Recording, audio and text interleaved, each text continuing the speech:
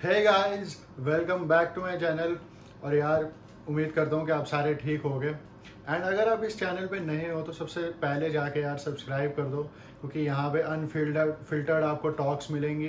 रोज जो football matches होते हैं क्रॉस द ग्लोब चाहे यूरोपियन हो, चाहे इंडियन हो, सब कुछ मैं आपको अनफिल्टर्ड टॉक्स अपनी ओपिनियंस सब शेयर करता हूँ मैं यहाँ पे। तो यार, आज हम बात करेंगे जो कल सेमीफाइनल हुआ चैम्पियंस लीग का। Liverpool versus Villarreal and कल जो मैंने प्रीव्यू छोटा सा बनाया था उसका, उसमें जिस हिसाब से मैंने बताया था, वैसे ही गेम चली बिल्कुल। एंड वैसे ही एक्सपेक्टेड थी वो गेम कि वैसे ही चलेगी। लिवरपूल के स्टेडियम में एनफील्ड में atmosphere is electric was electric last night and वही एक्सपेक्ट करते हैं हम कि कोई भी अवे टीम जब वहाँ पे आती है तो सेटल डाउन नहीं हो पाती वो एटमॉस्फेयर और जो प्लस इस साल जो लिवरपूल जिस हिसाब की फॉर्म में है एंड वैसे ही कल हुआ स्टार्ट हुई गेम जब तो लिवरपूल ने स्टार्टिंग से ही प्रेसिंग स्टार्ट कर दी स्टार्टिंग से ही चांसेस बनाने शुरू कर दिए एंड वी आर रियल जो अपना प्लान लेके आई थी एक, वही एग्जीक्यूट उन्होंने काफ़ी हद तक सही करा।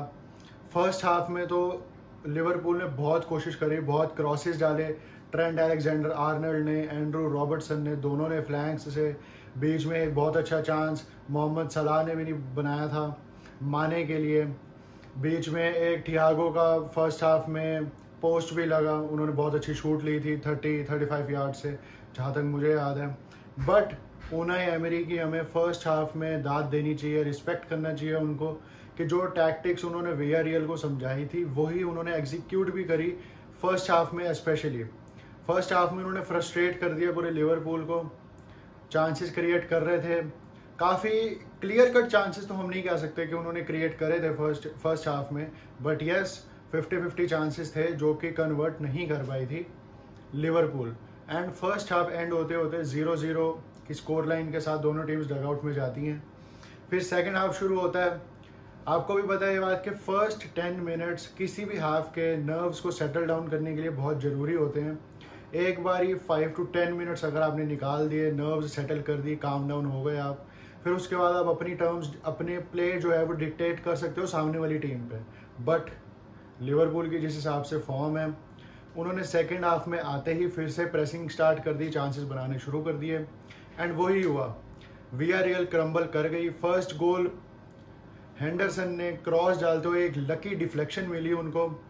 एंड रूली का भी हाथ लगा उस पर जो गोलकीपर था वी रियल का एंड वो नेट में घुस गई बॉल तो वन नील लिवरपूल हो गई फिफ्टी वन मिनट्स में and within two minutes फिर से जो कहते हैं ना कि एक गोल खाने के बाद टीम क्रम्बल हो जाती है कई बार, वही वी रियल हमें कल होती हुई दिखी.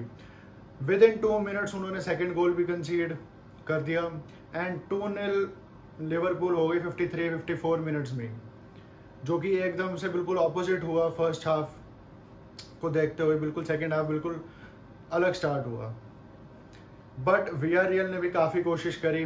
उनका हम ये नहीं कह सकते कि वो बिल्कुल ही लो ब्लॉक में खेल रही थी team they were in mid block हम कह सकते हैं, क्योंकि देवर ऑल्सो ट्राइंग कि कहीं ना कहीं हम अपना प्ले बनाने की कोशिश करें। जैसे, जो एथलेटिको मड्रिड फ़र्स्ट लेग में नहीं कर रही थी सिटी के अगेंस्ट तो it was not a low block it it was a mid block but Liverpool के अगर आप सामने हो तो वो चांसेस अपने कन्वर्ट करते ही हैं और उन्होंने वो करे। एक बार ही उन्होंने टू ज़ीरो की लीड ले ली।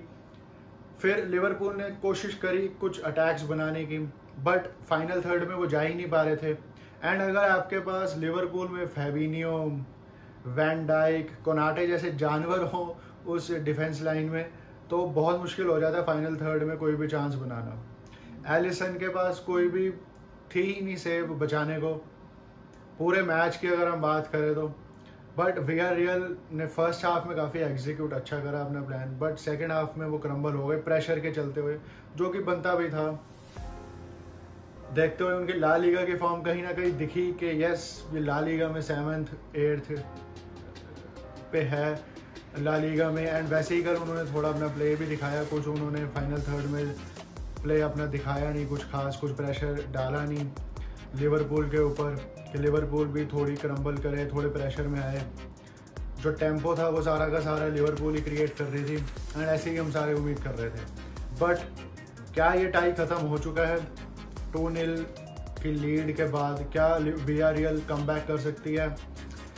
नहीं, मेरे को नहीं लगता कि कम बैक कर सकती हैं यहाँ से। वी आर रियल ठीक है, उन्होंने यूवेंटस को हराया बायन को हराया but Liverpool is strongest among them and Liverpool 2-0 मेरे को नहीं लगता किसी भी ग्राउंड में क्रम्बल करेगी ये लीड एंड लिवरपूल ने एक पैर अपना रख दिया है चैम्पियंस लीग फाइनल में. तो जो सेकंड लेग होगा, वो एक महज औपचारिकता ही रह गई है वो देखा जाए तो. बाकी कुछ है नहीं खेलने को सेकंड लेग में. बाकी उनाई एमरी अगर चाहें तो अब उनके लिए सेकंड लेग में डू और डाई सिचुएशन है. ऑल आउट अटैक उनको जाना पड़ेगा सेकंड लेग में, कि शायद फ़र्स्ट गोल अगर वी रियल मार दे तो शायद एक ही आउटसाइड चांस थोड़ा सा बन जाए उनका, जो कि मेरे ख्याल से बहुत ही मुश्किल है।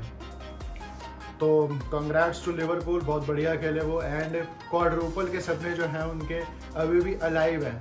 अभी भी क्वाड्रूपल जीत सकते हैं वो एंड 90 परसेंट सारे लोग कह रहे हैं कि वो चैंपियंस लीग फाइनल में पहुँच चुके हैं। तो kudos to Liverpool and tough luck to Villarreal अब हम अपने दूसरे मैच के बारे में बात करते हैं, जो आज रात को है। काफ़ी बड़ा मैच है वैसे तो। बट ऑन पेपर ही बड़ा है, बाकी कुछ है नहीं मैच में देखने को। चेल Manchester United versus Chelsea Old Trafford stadium Manchester United के होम पे होगा रात को प्रीमियर लीग में। कुछ साल पहले ये जो फिक्सचर था, बहुत ही इंपॉर्टेंस होती थी, इसकी बहुत सिग्निफिकेंस होती थी। दोनों टीम्स चेल्सी यूनाइटेड टाइटल के लिए जाती थी। बट इस साल, या हम कहें कि पिछले दो तीन साल में ये जो फिक्सचर है, इतनी इंपॉर्टेंस इसकी रही नहीं है। वरना ये बहुत अच्छा फिक्सचर होता था पहले। एंड आज भी कुछ ऐसा ही है रात को। चेल्सी जो कि आराम से थर्ड फिनिश कर जाएँगी। ना वो टाइटल के लिए जा सकते हैं इस वक्त, ना वो टॉप फोर से नीचे आ सकते हैं। बीच में है बिल्कुल चेल्सी इस वक्त प्रीमियर लीग टेबल में। वहीं पे अगर हम बात करें यूनाइटेड की तो यूनाइटेड इज़ ऑन सेवन्थ वो टॉप फोर में नहीं आ सकते। बट यस सेवन्थ से अगर वो नीचे गए तो कॉन्फ्रेंस लीग में भी उनको जगह नहीं मिलेगी। दोनों के लिए सिग्निफिकेंस एज सच तो कुछ भी नहीं है। बट फिर भी काफ़ी अच्छे प्लेयर्स हमें देखने को मिलेंगे आज, जहाँ पर यूनाइटेड की फॉर्म पूरे सीज़न ही अप डाउन अप डाउन रही है। काफ़ी ख़राब खेले यूनाइटेड वहीं पे चेल्सी चेल्सी यूसीएल से बाहर हो चुकी है रियल मड्रिड से। काफ़ी अच्छे फॉर्म में है। चेल्सी काफ़ी अच्छी फुटबॉल खेली है उन्होंने इस सीज़न यूनाइटेड के कुछ इंजरी कंसर्न्स भी हैं आज के मैच में। Aaron Wan Bissaka Maguire Shaw Fred Sancho ये सारे अवेलेबल नहीं है आज के मैच में। तो बचा ही क्या पहली तो बात यूनाइटेड में कि लाइनअप अपनी वो उतारे अच्छी। उनके पास बहुत ही कम ऑप्शंस हैं जिनके साथ आज वो जाएँगे। बट यस जिस टीम में रोनाल्डो हो you can not write down that team until the last minute of the game वहीं पे अगर हम चेल्सी की बात करें टोकल टोकल से पूछा गया प्रेस कॉन्फ्रेंस में कि आप 2013 से कभी भी ओल्ड ट्रैफर्ड में नहीं जीते हो तो क्या आज चेल्सी जीत सकती है वहाँ पे?